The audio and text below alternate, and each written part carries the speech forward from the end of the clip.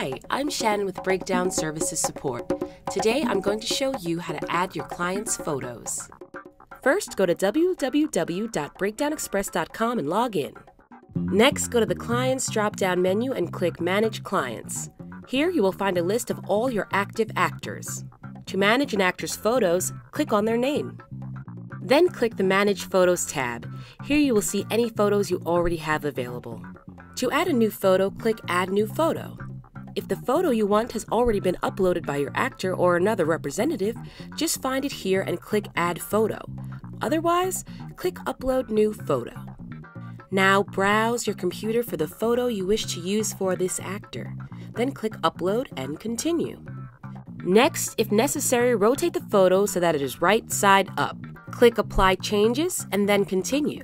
Now you will create a thumbnail from the photo by zooming, rotating, and selecting a portion of the photo to display. Be sure to click Apply Changes to save your progress. Then click Continue. Now, confirm the photo looks good and categorize it and click Continue. The photo will now be added to your cart. The final step is to check out. The first two photos for each actor are free. Any additional photos are $10 each. Click Proceed to checkout to fill out your billing information and then click Place Order to finish the transaction.